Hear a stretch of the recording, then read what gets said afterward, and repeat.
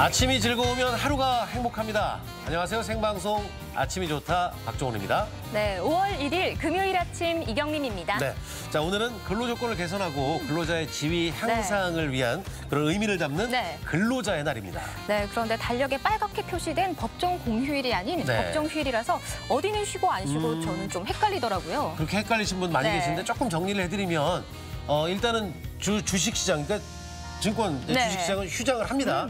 그리고 은행, 보험사, 어. 카드사들 다 쉬어요. 네, 반면에 이 관공서나 음. 아, 우체국은 오늘 또 문을 엽니다. 맞습니다. 많은 분들이 궁금해하시는 게 어, 택배는 배달이 될까일 음. 텐데요. 우체국의 경우에는 우체국 창구는 문을 열지만 집배원분들이 쉬시기 때문에 택배를 받기는 또 어려우시고요. 네. 그외 대부분의 택배회사는 배송 업무를 한다고 하네요. 그러게요. 좀 네. 참고를 하시면 될 것 같고요. 혹시 병원 오늘 가셔야 된다 하시는 분들, 네. 어, 개인 병원은 차이가 좀 있고 종합병원은 어, 정상 진료를 아, 한다고 그러는데 네. 혹시 헛걸음 하실까 봐 걱정스러워서 전화 한 통 먼저 하시고 아. 가보시면 가장 좋은 방법이 아닌가 생각이 됩니다. 그럼요. 뭐 쉬는 곳 안 쉬는 곳 한 반반 정도일 거라고 생각이 드는데요. 네네. 뭐 어제부터 연휴를 맞으신 분도 계실 거고 네. 또 어, 사정상 일을 못 쉬는 분들도 계실 텐데 저희도 못 쉬어요. 아, 그러니까요. 이 모든 분들이 대한민국을 이끄는 또 일꾼이잖아요. 저희가 맞습니다. 또 힘내시라는 말씀 꼭 전해드리고 아유, 싶네요. 응원해드리겠습니다. 네. 자, 먼저 우리 저기 날씨부터 알아보겠습니다. 강연아 기상캐스터. 네, 강혜라입니다. 자, 오늘 좀 때이른 더위가 올, 온다라는 얘기가 있습니다. 네, 맞습니다. 달력은 이제 막 한 장을 넘겼는데 날씨는 두 달을 앞서가겠습니다. 5월의 첫날인 오늘 한여름 더위가 찾아오겠는데요. 이미 대전은 어제보다 8도가량 높게 시작하고 있고요. 한낮에는 30도까지 치솟아 7월 하순에 해당하는 기온을 보이겠습니다. 이번 고온 현상은 내일까지 이어지다가 휴일부터 차츰 꺾이겠는데요. 일요일에는 대전의 낮 기온 23도까지 내려가면서 기온 변화가 크겠습니다. 대기는 메말라 있습니다. 오늘도 대전과 세종, 충남 지역에는 건조주의보가 발효 중인데요. 일부 내륙에서는 바람도 약간 강하게 불면서 작은 불씨가 큰 화재로 번질 위험성이 높겠습니다. 계속해서 화재 사고 예방에 만전을 기하셔야겠습니다. 오전에는 짙은 안개가 끼는 곳이 있겠습니다. 특히 충남 서해안과 도서 지역은 가시거리가 200m가 채 되지 않는 곳이 있는데요. 조심히 이동하시기 바랍니다. 위성 영상입니다. 오늘은 고기압에 가장자리에 들면서 구름량이 많다가 오후부터 맑은 하늘이 드러나겠습니다. 지역별 내십니다. 한낮에 천안여 30도, 아산 29도, 세종 30도로 어제보다 3, 4도가량 높겠습니다. 충남 서해안은 25도 안팎으로 예상됩니다. 바다의 물결은 모든 해상에서 낮게 일겠지만 해무가 짙게 끼겠습니다. 항해나 조업하시는 분들은 안전사고에 유의하시기 바랍니다. 주간 날씨입니다. 일요일에는 비가 오겠지만 강수량이 적어서 건조함이 해소되기는 어렵겠습니다. 날씨였습니다. 근로자의 날이라서 네. 예, 일에 관련된 이야기를 조금 더 해보면 아, 우리나라의 직업 사전이 네.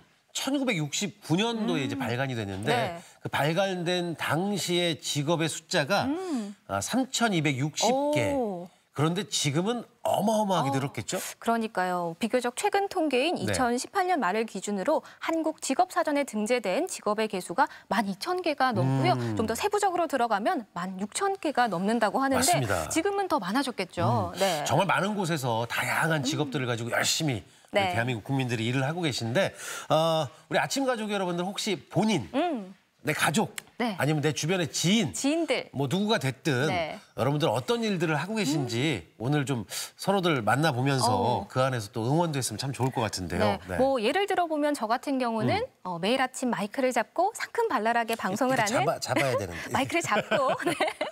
상큼발랄하게 방송하는 이경림입니다. 음. 뭐 이렇게 소개를 하실 수도 있고요. 네. 뭐 다른 분의 어머님 같은 경우에는 저희 어머니는 저의 뒷바라지를 열심히 해주신 주부이십니다. 주부도 직업이에요. 네, 효도할 네. 거예요. 뭐 이렇게 맞습니다. 남겨주셔도 자, 좋겠네요. 오늘 사진 사연 주제가요. 열심히 일하는 당신의 이야기인데 네. 자녀들이 학생이잖아요. 열심히 일하는 공부하는 모습도 어. 저희는 지- 직업군으로 그럼요. 넣겠습니다. 네. 그래서 어, 나나 내 가족들, 내 주변의 지인들의 열심히 일하는 모습 사진 혹시 핸드폰 스마트폰에 있다면 네. 어, 바- 보내주시면서 응원도 함께 했으면 참 좋겠습니다. 네, 사진 사연 보내는 방법 알려드릴게요. 생방송 아침이 좋다 앱을 내려 받으셔도 되고요. 인터넷 주소창에 아침이 좋다.kr 입력하시고 닉네임과 전화번호 쓰면 사진 사연 보내주실 수 있습니다. 네. 저희가 또 선정해서 선물 드리니까요. 5월의 첫날 행운의 주인공이 되시는 것도 좋겠네요. 제가 해볼게요. 많이 많이 보내주세요. 네, 많이 많이 보내주세요. 이렇게 하려고. 네. 네. 네, 자, 금요일 첫 소식은 문화 나들입니다. 아, 요즘 많은 분들 힘든 네. 시기를 겪고 계신데 제가 뭐 방송도 하고 있지만 외부에서도 MC를 많이 보잖아요. 음. 네. 주변에 만나는 분들이 이제 문화예술인들을 참 많이 만나는데 네. 아, 모든 분들이 똑같이 하는 얘기가 코로나19 아. 여파로 그냥 내가 이 문화적인 일을 음. 하면서 가장 큰 시련을 겪고 있다라고 하거든요. 아무래도 공연이 죄다 취소가 돼서 더 힘드실 것 같은데요. 네. 또 즐거운 무대를 만드는 예술인이라는 그런 사명감으로 음. 이런 힘드신 분들을 그냥 두고 볼 수가 없으셨다고 맞습니다. 하죠. 네. 자, 그래서 우리 지역의 예술인들이 똘똘 뭉쳤습니다. 음. 대한민국을 응원하기 위해 모인 우리 지역의 아티스트들 그분들 한번 만나보시죠.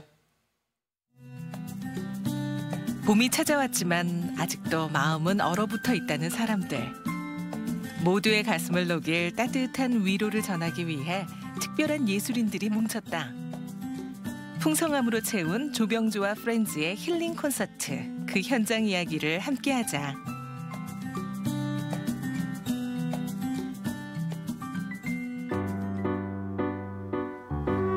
충남의 한적한 시골 마을. 평범해 보이는 이곳에는 한 예술가의 음악 작업실이면서 예술가들이 삼삼오오 모여 즉흥 연주회를 열기도 하고 실시간 소통도 하는 아지트 같은 공간인 음악 농장이 있다. 지금 사용하고 있는 용도는 제그 녹음실 겸 작업실로 사용을 하고 있는 어, 그런 공간이고요. 제가 이곳에서 태어났고 어, 제가 지금 앉아 있는 이 방이 제 첫 방이었습니다. 여기가 뭐 피난처 같은 공간이기도 하고 어, 쉼터가 될 수 있는 것 같아서 제가 어, 아무튼 그렇게 그런 느낌을 가지고 열심히 개발을 하고 있습니다. 이곳에 모인 이들은 이름 석자만 되면 알만한 지역의 저명 음악가지만 코로나19로 각종 공연이 잇따라 취소되면서 지금은 타이에 의한 긴 휴식기를 보내는 중이라고. 코로나 바이러스 때문에 온 국민들이 사회적 거리두기를 하고 있잖아요. 그래서 굉장히 준비가 많이 됐던 콘서트고 우리가 이미 공연들을 많이 하면서 여러분과 같이 힐링을 나눠야 되는데 그렇게 하지 못하고 있어서 어, 국민 여러분과 함께 어, 관객은 없지만 함께하는 기분으로 힐링 콘서트를 하려고 합니다. 갖가지 어려움 속에서 야심차게 준비한 이번 콘서트. 각기 다른 분야에서 활동하는 아티스트들의 특별한 무대로 화면 너머로 함께 해줄 수많은 관중을 떠올리며 기획했다. 방구석 콘서트 막 이런 식으로 해서 많이 사람들과 소통하는 거를 보고 음악하는 사람들은 음악이 언어니까 이 언어를 통해서 많은 분들하고 교감했으면 좋겠다 해서 박수 소리도 막 없지만 함께 박수 치고 또 우리 모두 힐링하면서 좋은 시간 보내도록 하겠습니다. 계절이 가장 먼저 나지막하면서 웅장하기까지 한 조병주의 흡입력 있는 목소리가 울려 퍼진다. 바리톤이라는 수식어 외에도 특이한 이력이 있는 그 검도인이기도 한 조병주 성악가는 시를 노래하는 무사로 대중에게 알려져 있다. 노래하기 전부터 검도를 했었고요. 그리고 또 이제 이태리의 검도 사범으로도 다녀왔고 또 이제 항상 성악까지만 그 체력이 굉장히 필요해요. 그래서 정신 수양 겸 또 체력 단련을 위해서 서- 노래와 검도를 같이 하고 있습니다. 누가 그러더라고요. 저보고 어, 노래하듯이 칼을 쓰고 칼을 쓰듯이 노래를 하면 너의 것이 될 것이다 라는 그런 얘기를 해주더라고요.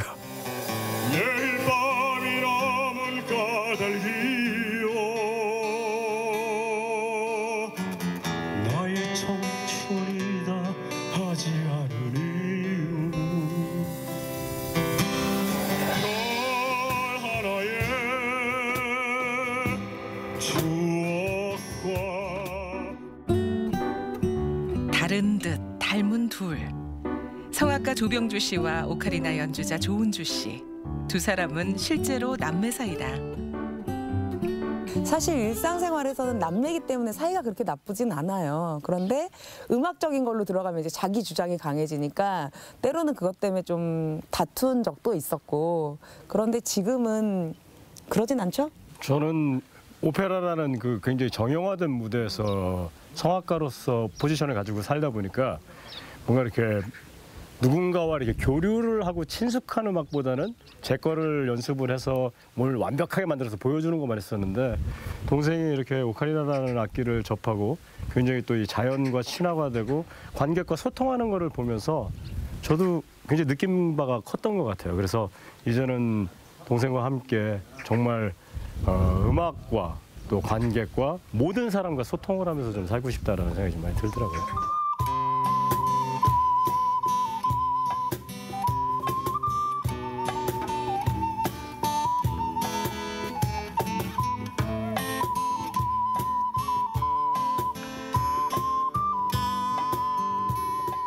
저는 원래 피아니스트예요. 그런데 피아노는 사실 연주를 하고 관객이랑 눈을 마주칠 수가 없잖아요. 근데 오카리나를 처음 음, 접했을 때 관객이 함께 감동해주고 교감하는 눈빛을 본 거예요. 그래서 아 음악은 이게 바로 음악이지라고 생각이 돼서 저도 그 매력에 빠져서 한 지가 벌써 꽤 됐네요. 맑고 청량한 소리의 오카리나를 연주하는 오카리니스트 조은주. 다양한 음악적 표현으로 대중에게 가까이 다가가고 있는 열혈 음악가다. 이번 콘서트에서도 그녀의 호흡을 따라 손가락의 움직임을 따라 여러 음색이 만들어지며 아름다운 음악이 울리게 됐다.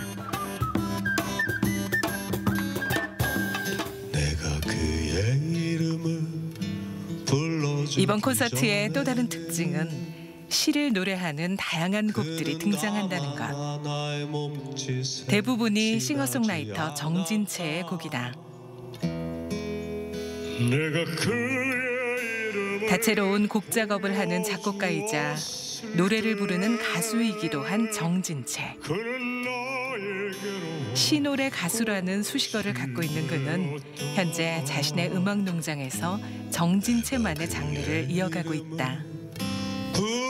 불러준 것처럼 초창기 때 곡을 쓸 때는 시를 가지고 곡을 쓰지 않았거든요. 제가 가사도 쓰고 어, 노래도 만들고 이렇게 했는데 제가 감동하는 시가 있으면 그 시 속에서 노래를 발견하고 또 찾아내고 어, 그러는 또 덤으로 얻는 어거지로 곡을 쓰는 게 아니라 이미 쓰여져 있는 시인의 그런 노래를 내가 찾아내는 어, 그런 느낌을 받게 되면서 이 시를 쓸 때 시인의 그런 어떤 마음의 상태였을까, 어떤 생활의 상태였을까 그런 것들을 또 이입해서 제가 한번 그 시인이 돼보는 거죠. 어, 그런 약간 스토커적인 아니 정말 그 시인의 시를 노래로 만드는 과정은 그런 스토킹이 필요할 정도로 어떤 그런 공감대를 찾아내는 게 필요 음, 음, 그런 매력 을 느낄 수가 있죠. 이 세상에 못난 꽃은 없다 세상에 환한 꽃은 없다.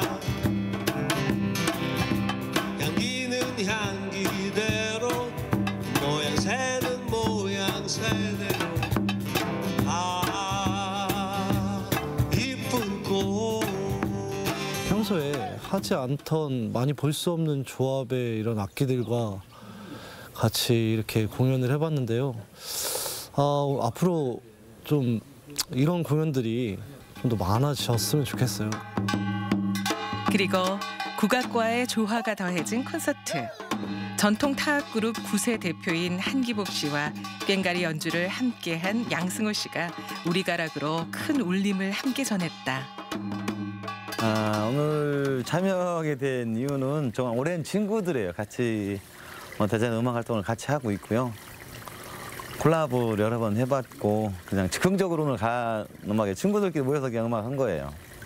어, 오늘 공연이 좀 색달랐잖아요. 네, 코로나 때문에라도 일단은 많은 예술가분들이 이렇게 모여서 하는 것도 오랜만에 공연이고 어, 아쉬운 점이 있다면 이제 관객분들이 이 공연을 시- 실질적으로 보셨어야 되는데 그런 게 좀 아쉬운 마음이 듭니다. 공연의 대미를 장식하는 퍼포먼스로 음악과 어우러진 종합 예술을 한눈에 감상하는 기회도 펼쳐졌다. 박양준 서예가의 강력한 필체 속에서 뿜어져 나오는 상서로운 기운과 검도 무예까지 한 무대에 담아낸 것이다. 어, 오늘 제가 휘호한 내용은 음, 백척 간두 진일보라는 내용인데요. 이 백척 간두가 가장 높은 벼랑 위에서 어, 절체절명의 그 순간에 한 번 더 한 발을 더 전진해서 내디딜 수 있는 그러한 어, 경지를 말하는데요. 지금 온 세상이 다 어려운 상황에서 어, 이 모든 것을 극복해내는 그 힘을 한 번 더 발휘해내야 된다는 그런 의지를 가지고 백척간도 진일보라고 휘호했습니다.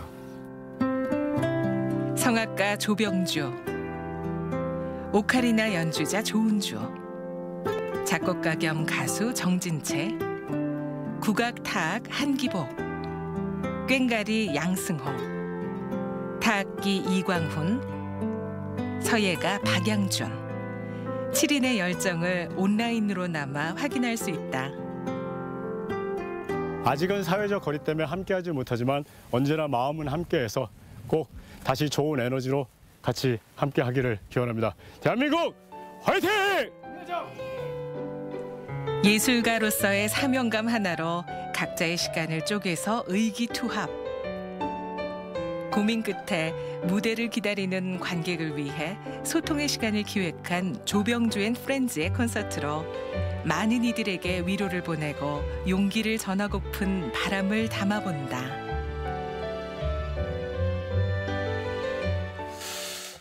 뭐 한 명 한 명 네. 이름만 대도 예, 뭐 포털 사이트에 좀 검색을 하면 기사들이 좀 어, 나오고 네. 저하고도 잘 아는 분들이 많이 나오셨는데 에, 좀 아쉬운 건 왜 난 안 불렀지? 갈수 있었는데. 네, 어우, 바쁜 줄 아셨나 봐요. 아 대단한 분들이 네. 뭉치셨네요. 네. 네, 더 의미가 있는 음. 거는 이분들이 뭐 위해서 뭐 따로 멋진 무대를 만든 것도 아니고 또 출연료도 받지 않으시고 네네. 자발적으로 함께 참여하신 거잖아요. 네, 그러다 보니까 네. 이제 뭐 너튜브 개인 채널에서만 이 공연을 볼 수 있다라는 좀 아쉬움이 있었는데 음. 네. 조금 더 큰 무대에 뭐 조명도 음. 좀 설치가 되고 많은 분들이 앉아 계시고 막 큰 소리가 나는 음향 아, 설치가 됐다면 네. 음. 더 값졌을 텐데 아쉬움은 있지만 이렇게 볼 수 있다는 것도 행복이고요. 네. 끝자락에 이 검도하고 오. 서해로 마무리하는 모습은 네. 야 기획성 있어 보이고 참 좋았습니다. 멋있네요. 네. 하루빨리 이 근사한 공연 프로그램을 직접 만날 수 있는 그날이 왔으면 좋겠습니다. 네. 그날이 올 때까지 힘내라 대한민국 아자아자. 아자, 아자. 네. 논산 한번 놀러 가겠습니다. 아, 네. 그럼요.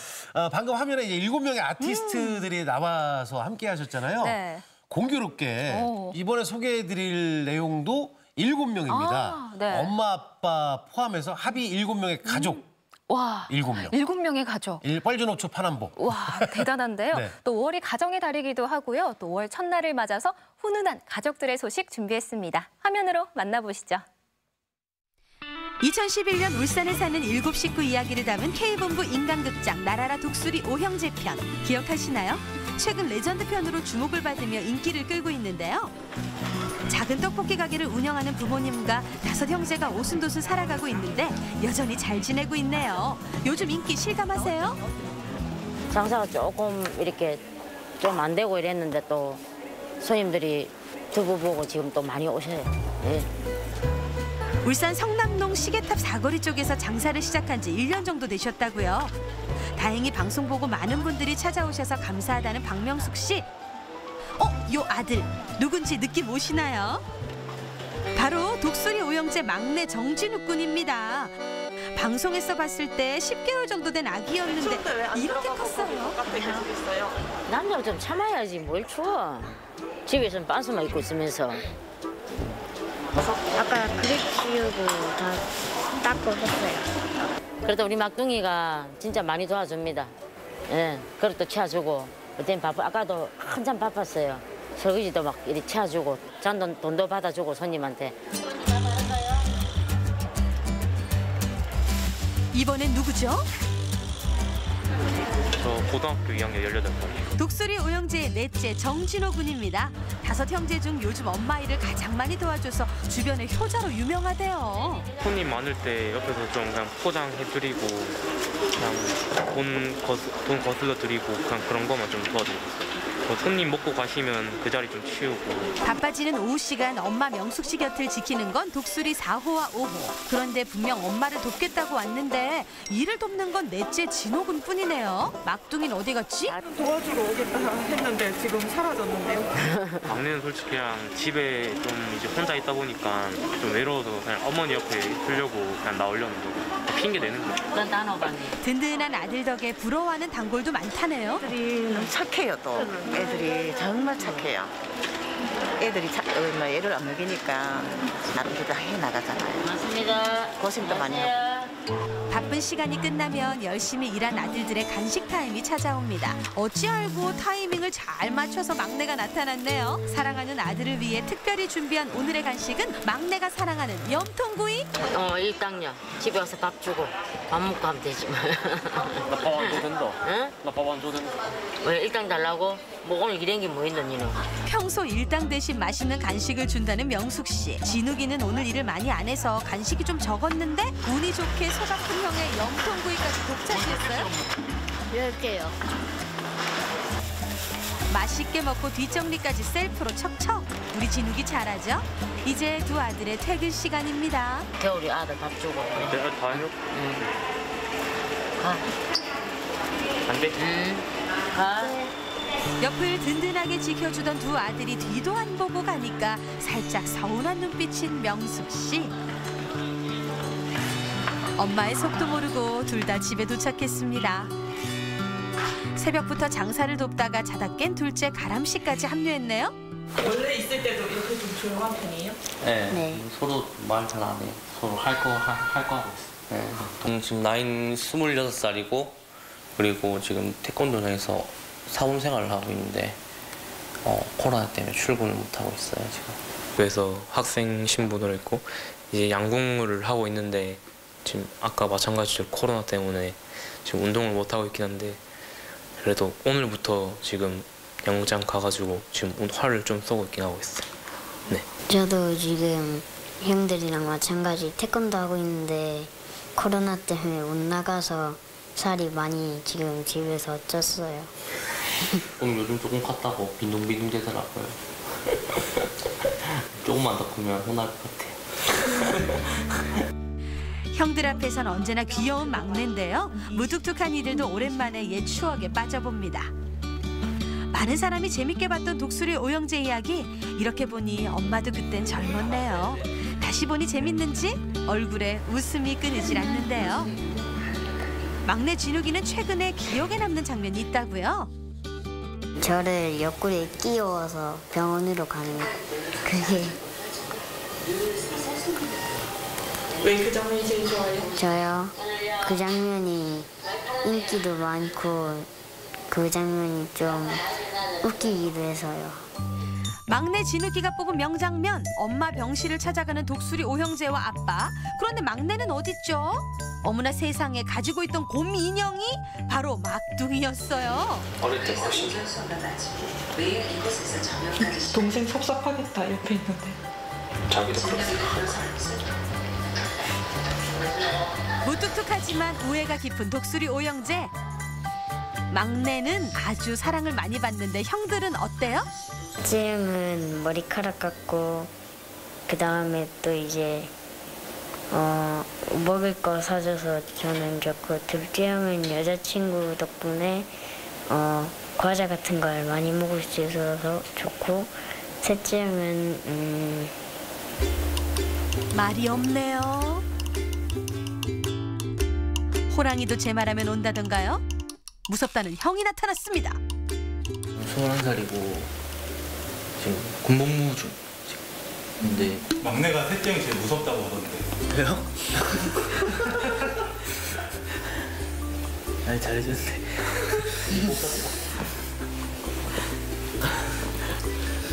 그냥 그냥 한 번씩 괴롭혀가지고 그냥 좋아가지고 그거밖에 없는 것 같아요 장점은 일단 재밌어요.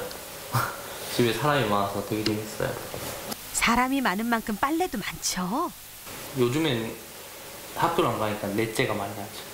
밥하고 빨래하고 청소하고 설거지하고 넷째가 다 도맡아서 하죠. 코로나19로 주부가 됐다는 넷째 진호 씨. 보기엔 익숙한데 일곱 식구의 빨래를 맡아서 한다는 게 쉬운 일이 아닐 텐데 힘들지 않아요? 그렇게 딱히 힘들다고 생각도 안 해봤어요. 네, 좀뭐 계속 하다 보니까 네, 익숙해가지고 익숙해져가지고 형들한테 도와달라는 얘기는 전혀 안 하나 봐요. 도와달라. 도와달란 말은 전혀 안 해요. 제가 그냥 제 혼자 계속 하니까 원래 저 시기 때 딱 하는 게 나아요. 저도 저 시기 때 있거든. 저 시기 때 하는 게 가장 좋아요. 가장 아니 저는 원래 잘 안 도와준 편이에요. 저는 제가 움직이는 거 좀 귀찮아해가지고 네 그런 것 같아요. 장사하시랴 살림하시랴 바쁜 엄마를 대신해서 각자의 자리에서 할 수 있는 걸 돕는 독수리 오형제. 몸도 마음도 훌쩍 컸는데요. 진욱이는 셋째 형이 무섭다면서 괜스레 형 주변에서 장난을 쳐봅니다. 영락없는 막내죠. 이렇게 함께 있으면 군 생활 중인 큰형 생각이 나는데요. 첫째 형 목소리 좀 들어볼까요? 아 형 여자랑 전화해야 돼. 빨리 용건만 말해. 지금 우리 이거 이거, 이거 찍고 있거든 지금. 어 찍고 있거든요. 뭐지? 계란찜 먹었다 계란찜. 좋네 군데. 괜찮네. 볼래? 아니. 어? 이런 경기에서 더 크게 안 해? 목소리 봐. 니 요즘 튀김을 너무 많이 먹어서 살찐 거 아이가? 튀김 많이 안 먹어. 태권, 태권도도 안 하는데 요즘에는. 이제 형 좀 이따 가면 형이랑 맨날 운동하지. 운동해가지고 살 빼야지.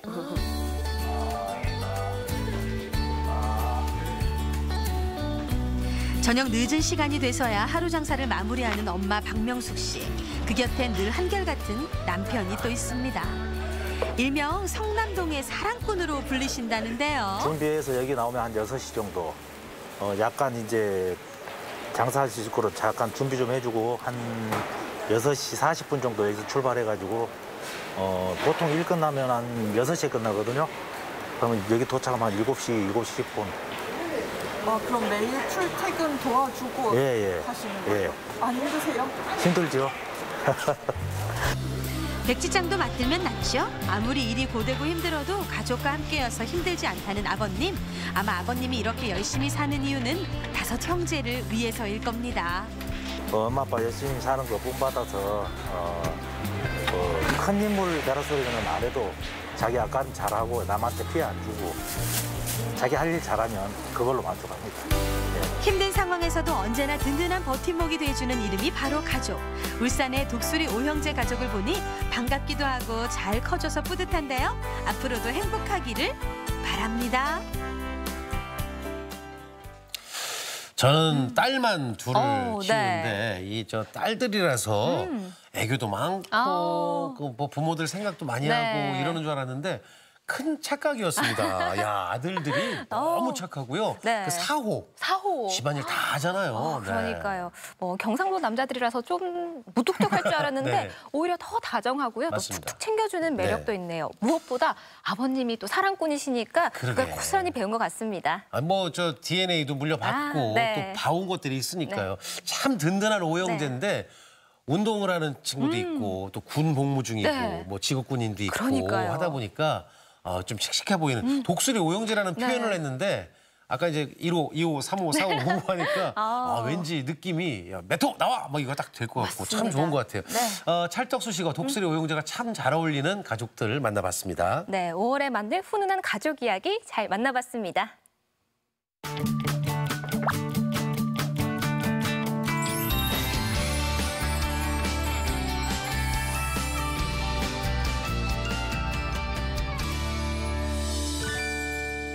네, 생방송 아침이 좋다 금요일 순서 함께하고 계신데요. 오늘의 사진 사연 주제가 네. 열심히 일하는 당신의 이야기입니다. 뭐 나의 이야기도 좋고 가족, 지인 누구의 네, 이야기라도 네. 좋으니까요. 사연 많이 보내주세요. 어, 휴대전화 좀 뒤져보시고 아니면 지금 사진 찍을 수 음. 네, 있으면 바로 찍으셔서 찍어서 보내셔도 네. 너무 좋겠네요. 어, 하고 계신 일 보내주시면서 네. 좀 응원의 메시지 함께 해주신다면 예 저희가 뭐 마지막에 여러분들 같이 네. 같이 응원하는 시간 갖도록 하겠습니다. 자 이어서 건강 톡톡 시간인데요. 어, 오늘 근로자의 날 이어서 모처럼 쉬시는 분들도 음. 네. 계실 텐데 한 조사에 따르면 평소에 만성 피로와 네. 피로와 소화불량을 이제 시달리고 호소하는 근로자들이 많이 계시다고 그러죠. 네, 종합병원을 찾는 환자분들 가운데 절반 가량이 뭐 음. 속이 답답하고 아. 더부룩하다는 이 증상을 호소하는 분들이 많다고 네네네. 하는데요. 그만큼 소화불량을 앓는 분들이 대한민국에 많다는 거죠. 맞습니다. 네. 이 단순한 소화불량으로 넘기는 증상이 심각한 음. 질환의 이게 신호일 수 있다라고 네. 그러거든요. 그래서 오늘 건강톡톡에선 기능성 소화불량에 대해서 자세하게 좀 알아보겠습니다. 네, 도움 말씀 주실 분 소개해 드리도록 하겠습니다. 황지용 뇌과 전문의 나와주셨습니다. 어서 오세요. 어서 오세요. 네, 어, 앞서서도 말씀을 좀 드렸는데 저도 그렇고 네, 저도 그렇고. 어, 주변에 계신 모든 분들 그 속이 답답하고 소화가 잘 안 된다는 분들이 많이 계신데 소화불량 환자가 어느 정도 되나요? 예, 소화불량 환자에 대한 역학 자료는 많지 않고 아직까지 뭐 연구마다 차이는 있지만 네. 유병률은 약 8에서 46% 정도로 알려져 음. 있습니다. 건강보험 심사평가원 자료에 따르면은 어, 여성에서 60%로 남성에 비해 여성이 1.5배 이상 어. 높으며 연령별로 보면은 50대에서 18.5%로 높은 비중을 차지하고 있으나 네. 나머지 연령층에서도 고르게 분포하고 있습니다. 국민건강보험관리공단 자료에 따르면은 기능성 소화불량으로 병원 진료를 본 환자의 수는 어, 2017년 한 해 동안은 62만 명이었는데 2018년에는 69만 명으로 증가한 추세였습니다. 이러한 원인은 불안과 우울, 스트레스와 같은 불안한 감정이나 로 인해서 불안한 이런 심리 상태가 영향을 미친다고 알려져 있습니다. 네. 네. 야, 근데 여자분들이 남자분보다 그러니까요. 더 소화가 안 되는군요. 어, 네, 저도 소화가 잘 더 안 되는 것 오, 같은 네. 기분처럼 느껴지는데요. 어, 소화불량은 특히 사람마다 증상이 또 다양한 것 같은데 오늘 말씀해 주실 이 기능성 소화불량은 뭐 일반적인 소화불량과 또 어떻게 다를까요? 예. 환자들이 병원에 와서 호소하는 증상은 대부분 뭐 배가 콕콕 쑤신다거나 음. 소화가 잘 안 된다던가 그리고 뭔가 매달려 있다는 느낌이 들거나 네. 그다음에 음식을 조금만 먹어도 소화가 안 된다고 이렇게 환자들이 호소를 합니다. 음. 제가 오늘 말씀드릴 기능성 소화 불량은 네. 뭐 소화성 궤양이나 위장관 악성 종양, 그다음에 위식도 역류 질환, 그다음에 췌담도 질환 같은 이런 소화 불량을 일으킬 만한 뚜렷한 원인이 없이 소화 불량이 만성적이고 지속적으로 발생하는 것입니다. 주 증상으로서는 상복부의 통증이나 조기, 조기 포만감, 식후 불편감, 오심, 구토, 트림 등의 증상이 있는데 네. 한 역학조사에 따르면은 어, 3차 기간, 우리 그러니까 대학병원 같은 병원에 방문한 환자 중 소화불량 환자 중에서 실제적으로 기질적 원인이 이씨 있어서 방- 이씨 있어서 기질적 질환 소화불량을 진단된 환자는 8에서 20% 정도로 되고 나머지 기질적 질환이 없이 기능성 소화불량으로 진단되는 환자는 그 나머지 주로 주변에서 흔히 볼 수 있고 흔히 진단되는 질환입니다. 네. 뚜렷 한 원인이 없다면 더 병을 좀 진단하기 어렵지 않나 싶긴 한데 이 구체적으로 어떤 증상이 나타나면 이제 기능성 소화 불량으로 볼 수가 있을까요? 예, 기능성 소화 불량은 의학적으로는 다음과 같이 정의하고 있습니다. 첫 번째로는 불쾌한 상복부 식후 포만감입니다. 음식을 먹은 후에 음식이 위내에 계속 남아있는 듯한 느낌이 드는 것이고 두 번째로서는 불쾌한 조기 만복감입니다. 이는 식사를 시작하자마자 곧 배가 부르고 더 이상 불러서 식사를 할 수 없겠다는 증상이 나타나는 것이고 세 번째로서는 불쾌한 상복부 통증으로서 명치 부위에 통증이 발생하는 것입니다. 네 번째로서는 불쾌한 상복부 속쓰림으로 명치 부위에 속쓰림이 발생하는 것인데 네. 이러한 네 개 증상이 자체 네 개 증상 중 한 개 이상이 지난 6개월 전부터 증상이 있었고 최근 3개월 이내에 증상이 지속될 때를 우리가 기능성 소화불량을 진단할 수 있습니다. 그러나 어. 중요한 것은 이러한 증 이러한 증상이 뚜렷한 기질적 원인이 없다는 전제 하에 진단되는 것입니다. 네, 뭐 증상을 듣고 보니까요, 뭐 식사 전후로 좀 속이 더부룩하거나 반대로 또 배에 통증이 있는 거 이두 네. 가지로 좀 나누어 볼 수가 있겠네요. 예, 말씀하신 것처럼 두 가지로 구분할 수 있는 대로 이렇게 두 가지로 구분하는 이유는 환자의 치료 시 약제의 선택이 조금 달라질 수 있기 때문입니다. 첫 번째로는 식후 불편감 증후군입니다. 아까 말씀드린 것처럼 식후 포만감이나 조기 만복감이 일주일에 3일 이상 있는 경우이고 두 번째로서는 상복부 통증 증후군으로서 통증이나 속쓰림이 일주일에 1회 이상 있는 것입니다. 이때 중요한 것은 상복부 통증은 우리가 심장질환 같은 흉통을 꼭 감별해야 되며 네. 속쓰림 같은 경우에서는 역시 어, 뭐 췌장이나 이런 담낭 같은 질환도 꼭 감별을 해야 됩니다. 음. 네. 이 기능성 소화불량이 이제 기질적 원인이 없이 발생한다고 네. 하셨는데 그래도 그저 아무런 이유 없이 갑자기 소화불량이 어우. 생기지는 않을 것 같은데 네. 어떻습니까? 예, 기질적 원인이 없는 것이지 아직까지 소화불량에 대한 원인은 다양하게 알려지고 있습니다. 네. 예, 첫 번째로 지연된 위 배출 등입니다.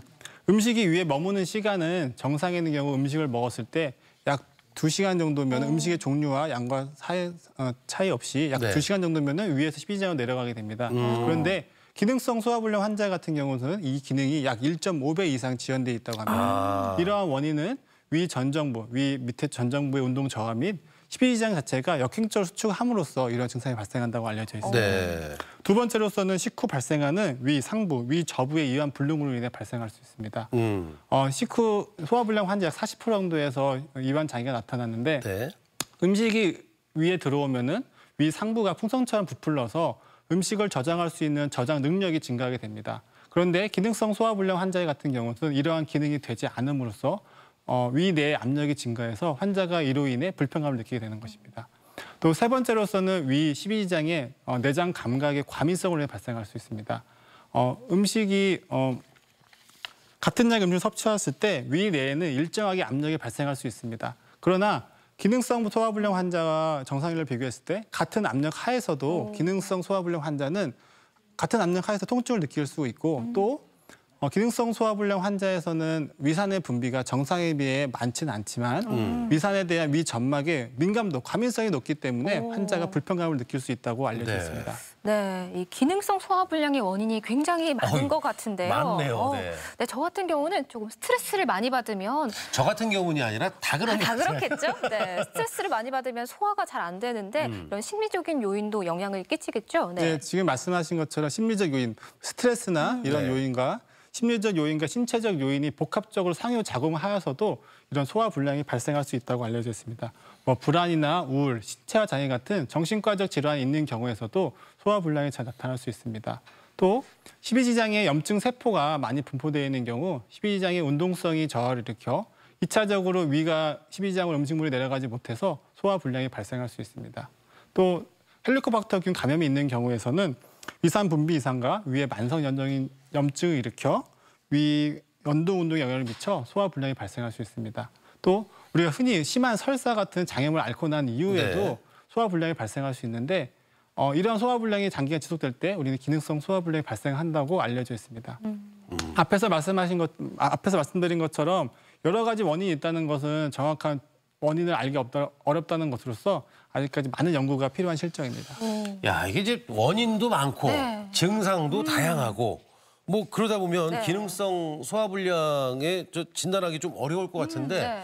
그래도 이제 뭐 어떤 기준이 있을 것 같은데 어떤 오. 기준으로 진단을 하게 되는지요? 네. 네, 이렇게 소화불량을 호소하는 환자들은 대부분 외래에 오면은 정말 다양한 증상을 호소하게 됩니다. 그래서 이런 환자들을 진단하기 위해서는 가장 중요한 것은 환자의 이야기를 잘 듣는 병력 청취가 중요합니다. 어. 병력 청취를 함으로써 이 사람이 뭐 가족력으로 위암이 있는지, 그다음에 위에 소화성 궤양이 있는지, 췌장이나 담도 쪽에 문제가 있는지에 대해서 어, 우리가 감별 구분을 할 수가 있고 네. 환자가 최근에 무슨 감기나 같은 이런 것으로 뭐 진통 소염제를 먹었는지, 그다음에 항생제 같은 걸 복용했는지, 철분제를 먹었는지, 약제 관련해서 소화가 잘 안 되는지에 대해서 구분할 수 있고, 네. 아까 말씀하신 것처럼 심리적인 요인, 뭐 스트레스나 그런 원인으로 인해서 환자가 소화 불량이 발생할 수 있기 때문에 이런 것도 구분할 수가 있습니다.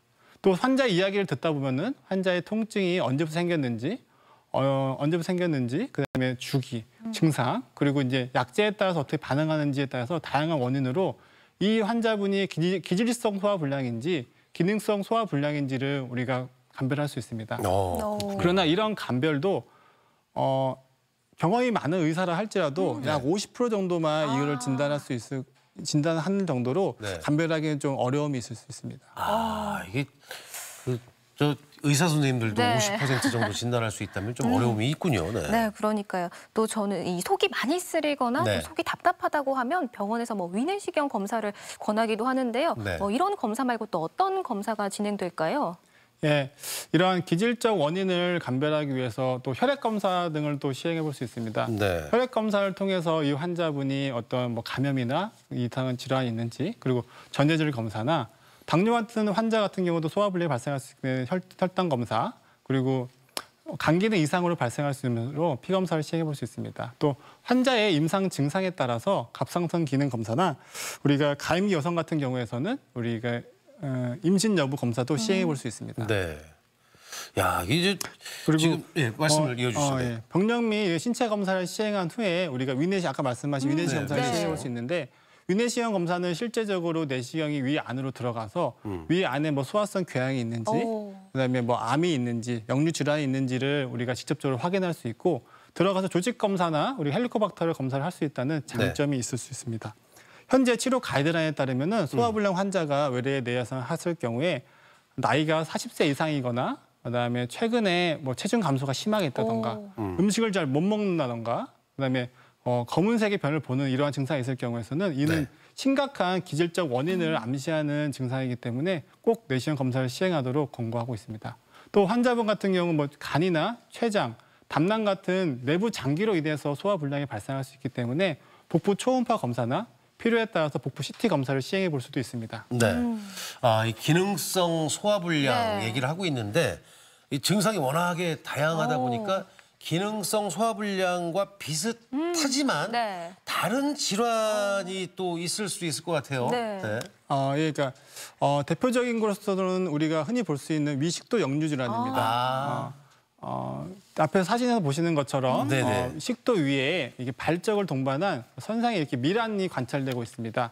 이러한 위식도 역류 질환 환자에서는 어, 음식물이 역류하고 위산이 역류하면서 소화 통증뿐만 아니라 소화 불량이 발생할 수 있습니다. 어, 두 번째로 어, 당뇨 환자들 같은 경우에 만성적으로 만성 질환이 오래되면은 위 무력증이라고 해서 위가 전반적으로 움직이지 않는 네. 예, 그런 위 무력증이 발생할 수 있습니다. 이 위 무력증 환자에서 소화불량이 발생할 수 있는데 기능성 소화불량 환자와 구분하는 것은 이런 환자들은 대부분 구토가 주 증상으로서 구분할 수 있다고 알려져 있습니다. 또 세 번째로서 우리가 기능성 소화 질환, 질환 중에 하나인 과민성 장증후군을 얘기할 수 있습니다. 과민성 장증후군은 장애에 생기는 문제이기 때문에 상복부 통증보다는 전반적 복부 불편감을 호소하고 환자가 배변에 따른 변화, 배변의 주기, 형태, 배변 후에 환자가 통증이 얼마큼 경감되는지 이러한 것을 통해서 구분할 수도 있습니다. 음. 네. 야, 이게 그냥 증상이 한 가지가 아니기 때문에 네.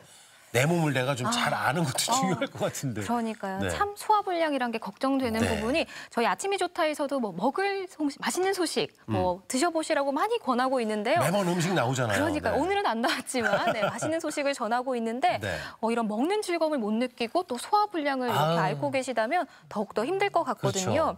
이런 기능성 소화불량 치료는 어떻게 이어질까요? 예, 다양한 원인이 있는 만큼 치료도 다양하게 알려지고 있습니다. 첫 번째로 위산 분비 억제제로 치료할 수 있습니다. 위산 분비 억제제의 종류로서는 어, 양성자 펌프 억제제, 그다음에 항히스타민제, 제산제를 사용해 볼 수 있습니다. 양성자 펌프 억제제 같은 경우 만성 만성 염증이 있고 소화 불량이 있는 환자한테서 우리가 어, 환자한테 환자든 어, 위산의 분비가 어, 정상인보다 많지 않음에도 위 점막에 대한 민감도가 높아서 발생하는 통증으로 이때 양성자 소화성 궤양 환자와 마찬가지로 양성자 펌프 억제제를 사용함으로써 환자의 증상이 호전될 수 있습니다. 네. 어, 또 이제 급성 급만성 위험이 있는 소화불량 환자 같은 경우에는 우선적으로 우리가 짜먹는 뭐 제산제 같은 게 많이 있는데 제산제를 우선적으로 먹어보고 그 필요에 따라서 항히스타민제 그리고 경우에 따라서는 양성제 펌프 억제제까지 치료의 강도를 높여볼 수 있습니다. 두 번째로서는 위장관 운동 촉진제입니다. 기능성 소화불량 환자의 약 40% 정도에서 소화 기능이 많이 떨어져 있다고 합니다. 그래서 이런 환자들한테 위장관 운동 촉진제를 투여함으로써 환자가 이제 음식물 다 내려감으로써 증상의 호전을 볼 수 있다고 또 알려져 있습니다. 세 번째로서는 아까 원인 중에 말씀드렸던 위 자체가 어, 음식에 들어왔을 때 풍선처럼 부풀어서 네. 위에 음식을 저장할 수 있는 저장 등이 늘어나야 되는데 이러한 기능이 안 됨으로써 발생하는 것으로서 위 저부 이완을 시킬 수 있는 약물을 사용함으로써 환자의 증상을 호전시킬 수 있습니다. 네. 이 헬리코박터균 말씀을 좀 아까 해주셨잖아요. 네. 그 헬리코박터균 때문에 소화불량이 생길 수도 있다. 네. 근데 이제 헬리코박터균은 우리가 이제 방송을 통해서나 조금 전에 말씀하셨을 때도 그렇고 많이 들었어요. 네. 예, 근데 좀잘 모릅니다. 그래서 헬리코박터균은 정확히 어떤 균인지 네. 좀 예, 설명을 해주시죠. 예, 헬리코박터균은 위 점막에 서식하는 세균으로서 우리가 위 궤양이나 어, 소화의 위장관 악성 종양과 연관이 있다고 알려져 있습니다. 어, 헬리코박터가 위 점막에서 독성 단백질을 분비함으로써 어, 많은 소화 질환을 유발, 유발한다고 알려져 있습니다. 세계적으로 헬리코박터는 절반 이상의 유병률을 가질 정도로 가, 가지고 저희 나라 같은 경우에서는 음식을 서로 찌개류를 같이 나눠 먹는 식습관으로 인해서 아. 어, 많은 높은 유병률이 과거에 갖고 있었습니다. 그러나 최근에는 어, 찌개류를 같이 뭐 식습관, 개인 식기를 사용하는 네. 그런 습관이나 뭐 술자리에서 술잔을 안 돌리는 거 음. 이러한 습관으로 인해서 현재는 많이 떨어지고 있습니다. 과거에 2000, 1998년도에 보면은 약 70% 정도까지 유병률이 있었으나 최근에는 약 40% 정도까지 많은 감소를 하였습니다. 음. 그러나 네. 역시 높은 유병률을 보이고 있습니다. 아. 이러한 음, 어 그래서 이런 헬리코박터가 있는 경우에 우리가 이제 재균 치료를 해볼 수 있습니다. 네. 그러나 이제 어, 아까 말씀드린 것처럼 원인이 워낙 다양하기 때문에 네. 헬리코박터를 치료한다고 환자가 다 치료되는 건 아닙니다. 아, 네, 네. 네, 그래서 헬리코박터 재균 치료를 위해서는 우리가 많은 항생제가 필요하게 됩니다. 음. 그러면 예. 환자가 소화불량이 있는 환자들이 소화불량을 더 악화시킬 수도 있고 아직 재균 치료 후에 소화불량 자체가 음. 장기적으로 환자한테 어떠한 영향을 미치는 데한 아직 자료는 부족한 실정입니다. 오. 음. 그래서 헬리코박터가 있는 기능성 소화불량 환자의 경우 어, 우리가 이제 의사의 판단에 의해서 음. 재균 치료 여부는 한번 해볼 수 있다라는 정도로 정의할 수 있습니다. 음. 또한 2차 치료제로 아까 말씀드린 스트레스 같은 심리적 영향이 네. 있을 수 있기 때문에 어, 저- 정항우울제나 안정제 등을 사용해 볼 수 있습니다. 이런 안- 정신과 약물은 어, 환자들은 효과적으로 사용할 수 있지만 정신과 약물의 부작용으로서 뭐 졸림이나 낮에 피곤함, 변비, 그리고 소변이 잘 안 나온 듯한 이런 증상을 유발할 수 있으므로 특히 노인 환자분들한테는 이러한 약제를 사용하는 것이 사용할 때 꼭 주의를 가- 기해야 됩니다. 네. 야, 이 헬리코박터균 얘기만큼 이 얘기를 이만큼 많을 어, 정도면 네. 그 헬리코박터가 참 유명한 균이네요. 아, 네. 그러니까요. 참 말씀을 들을수록 가능하다면 약을 먹지 않고 아우. 치료를 할 수 있다면 일반적으로 네. 먹는 약들이 있는 분들은 더더욱이. 네, 좀 네. 약 없이도 치료를 할 수 있으면 좋을 것 같은데요. 음. 소화불량 환자분들에게 좀 추천할 만한 뭐 식이 습관, 생활 습관이 있다면 또 어떤 게 있을까요? 예, 외래에 소화불량을 오는 환자들한테 어, 소화가 안 되는 음식을 물어보면은 네. 한두 가지씩은 대부분 말씀을 하게 됩니다. 아, 네. 어, 그래서 우선 환자분들한테 그런 음식을 꼭 피하도록 권고하고 있고요. 네. 어, 왜냐하면은 본인이 본인만의 음, 소화 안 되는 음식이 있기 때문에 그걸 네. 피하도록 얘기를 하고 있습니다.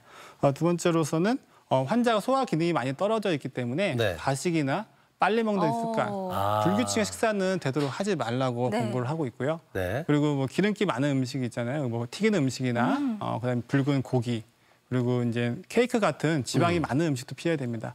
지방이 많은 음식은 그 아- 어, 지방지를 분해하기 위해서는 위산 같은 많은 소화 효소가 필요하고 네. 소화기에서 위산, 위가 많은 연동 운동이 필요할 수 있기 때문에 소화불량 환자한테는 증상을 더 악화시킬 수 있으므로 피하도록 권고하고 있습니다. 네. 그리고 증상을 악화시키는 콩이나 어, 양파, 탄수화음료나 초콜릿 등도 소화 불량을 더욱더 악화시킬 수 있기 때문에 네. 이런 것도 피하도록 권고하고 오. 있습니다. 그리고 또 우유나 치즈 같은 요구르트 같은 유제품도 증상을 악화시킬 수 있으므로 피해야 됩니다.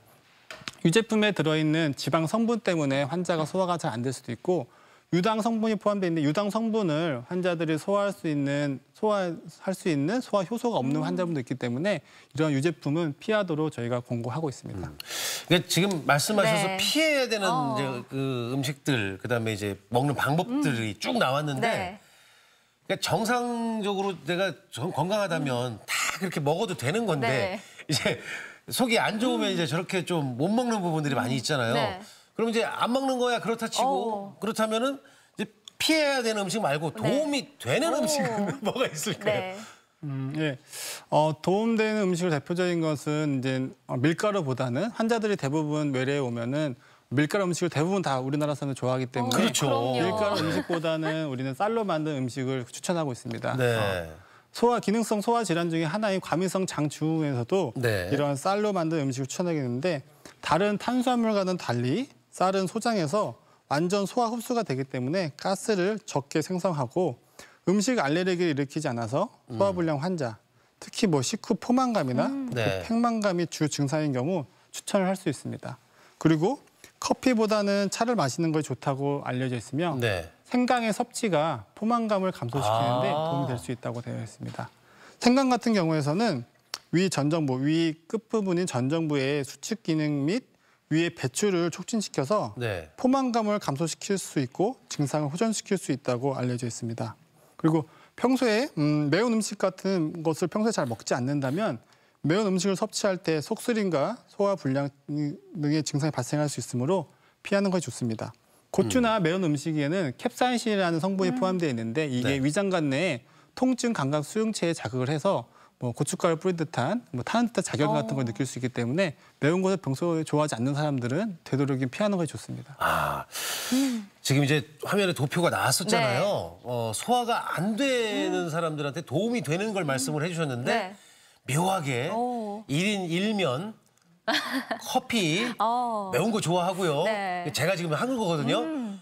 그러니까 이런 걸 하기 때문에 소화가 그렇죠. 안 되는 건데. 네. 어, 그 우리 시청자 여러분들께서도 이제 게시판에 사연들을 좀 올려주셨는데 음. 네. 이제 몇 분 게시판에 올려온 사연을 좀 만나볼 텐데 그 60대 남성분인데 음. 요즘 소화가 너무 안 돼서 어. 식사 후에 거의 매번 그러니까 밥 식사하시면 소화제 드신다는 아유, 얘기잖아요. 네. 이분 얘기가 끝에가 참 대박인데 차라리 굽는 게 나을까요? 근데 아, 굽는 게 어- 어떻습니까? 나을까요? 네. 아, 예.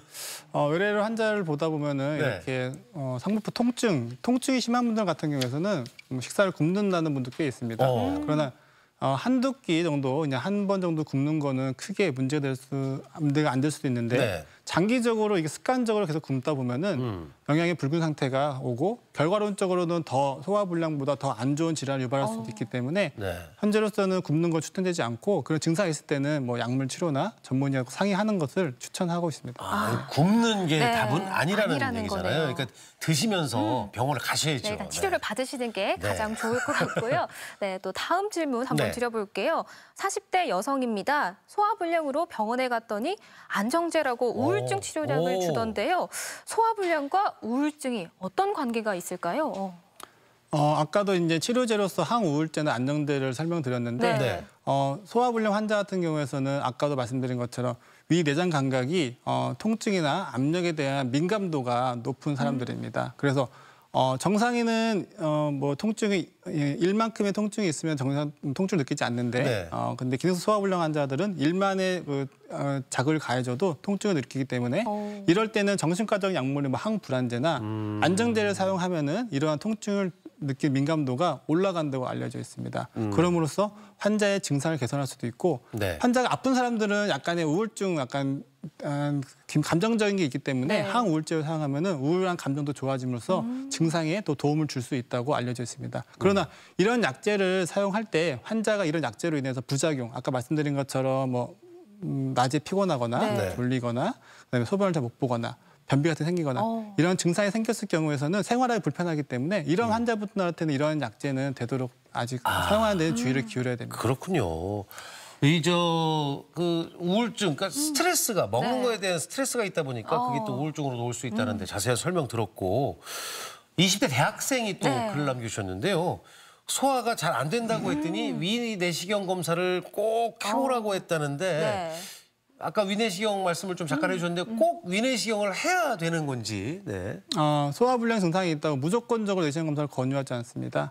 저도 외래 환자가 오면은 20대가 간헐적으로 오긴 하는데 예. 무조건 검사를 권하기보다는 우선적으로 환자분이 위암의 가족력이 있거나 어, 그리고 어, 환자가 처음 온 게 아니라 여러 번 제가 환자분이 와서 약물 치료를 했음에도 불구하고 증상이 개선되지 않을 때는 이 사람이 혹시 소화성 궤양이나 뭐 위식도 역류 질환, 어, 드물게는 뭐 위암 같은 게 발생할 수 있기 때문에 내시경 검사를 권고하고 있습니다. 그러나 단순하게 처음에 소화불량 증상이 있다고 무조건적으로 내시경 검사를 하진 않습니다. 네. 어, 네. 그러나 어, 최근에는 20, 30대에서도 어, 위암의 위암 발생률이 어, 있다고 알려져 있기 때문에 어, 그래도 한 번 정도는 해보는 것도 도움은 될 수 있습니다. 아, 요즘에 뭐 저 먹는 것 때문에 네. 예, 현대인의 식습관 때문에 위가 좀 안 좋다고 그래서 20대도 한 번 정도는 네. 가능하다고 하네요. 어, 네. 그러니까요. 또 다음 질문 한번 드려보도록? 할게요. 네. 요즘 담배를 피우기 시작했더니 소화가 잘안 되는데요. 제 얘기 어, 같아요. 흡연이나 음주가 소화불량의 원인이 되기도 하나요? 네. 아, 예. 어, 소화불량 환자가 외래에 왔을 때 어, 저도 항상 물어보는 게 담배 피시냐고 여쭤, 여쭤보는데 담배가 어, 다른 뭐 질환과도 분명히 나쁜 영향을 미치긴 하지만 네. 담배를 피면은 어, 위산의 그 위산 분비를 더 자극해서 문제를 일으킬 수가 있고 위 점막에 혈류에 영향을 미치게 된답니다. 그래서 이제 위 염증도 일으킬 수도 있고 소화불량을 일으킬 수 있게 됩니다. 또 음주 같은 경우에서는 어, 시- 어, 알코올 자체가 실제, 실제적으로 위 점막에 자극을 하고 음. 이로 인해서 위장과 운동에 영향을 미치길 수 있기 때문에 어, 음주나 뭐 흡연하는 분들은 뭐 소화불량 있을 경우에서 우선적으로 금연이나 금주를 오. 어, 권하고 있습니다. 아, 그렇군요. 네. 아유, 오늘 또 잘 들어봤습니다. 네. 아, 건강톡톡 오늘은 기능성 소화불량에 대해서 자세하게 알아봤고요. 네. 어, 다음 이 시간에는 자외선과 피부 건강에 대해서 또 알아보도록 하겠습니다. 궁금하신 점 있으시면 게시판에 남겨두시면 도움이 될 것 같습니다. 네, 지금까지 황지용 내과 전문의와 함께했습니다. 네, 도움 말씀 고맙습니다. 고맙습니다. 자, 계속해서 우리 지역의 날씨 알아보겠습니다. 강혜라 기상캐스터. 네, 5월의 첫날인 오늘 한낮에 여름 더위가 찾아오겠습니다. 이미 대전은 21 21.4도를 가리키고 있는데요. 기온은 점점 더 올라서 한낮에 대전이 30도까지 치솟겠습니다. 7월 하순에 해당하는 기온인데요. 이번 고온 현상은 내일까지 이어지다가 휴일부터 차츰 꺾이겠습니다. 일요일에는 대전의 낮 기온 23도까지 내려가면서 기온 변화가 크겠습니다. 대기는 메말라 있습니다. 오늘도 대전과 세종, 충남에는 건조주의보가 발효 중인데요. 일부 내륙에서는 바람도 약간 강하게 불면서 작은 불씨가 큰 화재로 번질 위험성이 높겠습니다. 계속해서 화재 사고 예방에 만전을 기하셔야겠습니다. 오전에는 짙은 안개가 끼는 곳이 있겠습니다. 특히 충남 서해안과 도서 지역은 가시거리가 200m가 채 되지 않는 곳이 있는데요. 조심히 이동하시기 바랍니다. 위성 영상입니다. 오늘은 고기압의 가장자리에 들면서 구름의 양이 많다가 맑은 하늘이 드러나겠습니다. 지역별 날씨입니다. 한낮에 천안 30도, 아산 29도, 공주 29도로 어제보다 3, 4도가량 높겠습니다. 충남 서해안은 25도 안팎으로 예상됩니다. 바다의 물결은 모든 해상에서 낮게 일겠지만 해무가 짙게 끼겠습니다. 항해나 조업하시는 분들은 안전사고에 유의하시기 바랍니다. 주간 날씨입니다. 일요일에는 비가 오겠지만 강수량이 적어서 건조함이 해소되기는 어렵겠습니다. 날씨였습니다. 함께하고 계시는 생방송 아침이 좋다는 여러분들의 참여로 꾸며집니다. 네. 하고 싶은 이야기들이 있으시면 편안하게 참여를 해주시면 여러분들도 함께하는 주인공이 되실 수 있습니다. 네, 계속해서 시청자 여러분의 이야기 만나볼 텐데요. 오늘의 사진 사연 주제 네. 열심히 일하는 당신의 이야기였습니다. 한 분씩 만나보도록 할게요.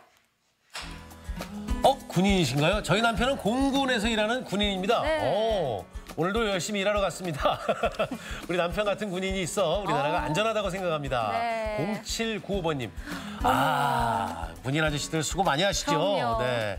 아이가 너무 잘 닮았네요. 네. 네, 7644번님, 저는 요양보호사를 하면서 다육식물을 판매하는 일도 한답니다. 음. 꽃과 어르신 모시는 건 모두 즐거운 일이죠. 어르신들도 따뜻한 보살핌이 필요하듯 다육식물도 따스한 손길이 필요합니다. 아. 어, 뭔가 좀 공통점이 있네요. 그러게요. 네. 요양보호사와 예, 다육식물을 판매 하는 일. 네. 다육식물 요즘에 많이들 또 찾고 계시잖아요. 네. 아, 7658번님, 제 아들은 요즘 카페 아르바이트를 합니다. 대학 공부에 취업 시험 공부, 주말 알바까지 참 열심히 사는 아들. 아들 항상 너를 응원해 하셨는데 네. 아 와. 알바에 취업 시험 공부에 네 하여튼 뭐 요즘 젊은이들 네. 예 우리가 믿어도. 됩니다. 네. 네. 일단 저는 저게 맛있어 보입니다.